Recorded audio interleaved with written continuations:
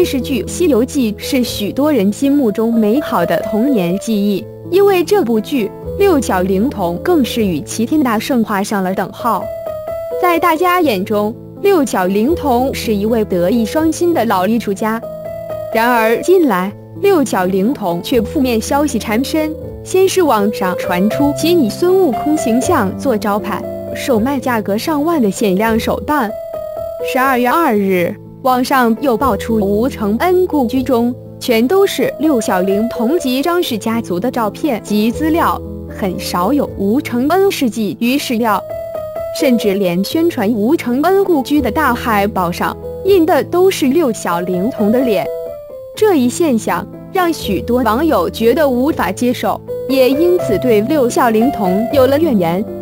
而有网友深入了解六小龄童后表示，不仅如此，六小龄童此前还有一些让人难以接受的说法和做法，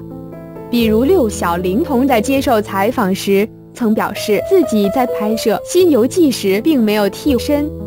但实际上，网友整理《新游记》花絮照片时，发现了不下三位孙悟空的替身。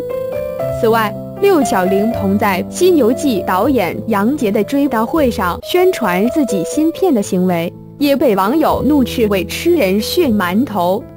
不过，也有网友对此做出反驳。网友称，追悼会上的发言是媒体断章取义、卖手办、吴承恩故居等行为，更不是六小龄童主动去做的，他并不知情。有时为了宣传。负责人确实会选择较知名的人物作为宣传，当做噱头，不能把一切锅都扣在六小龄童个人身上。无论怎么说，六小龄童都是我们童年回忆中美好的一部分。他在宣传《西游记》方面有许多功劳，实在不必对老艺术家的一些说法做法太过上纲上线。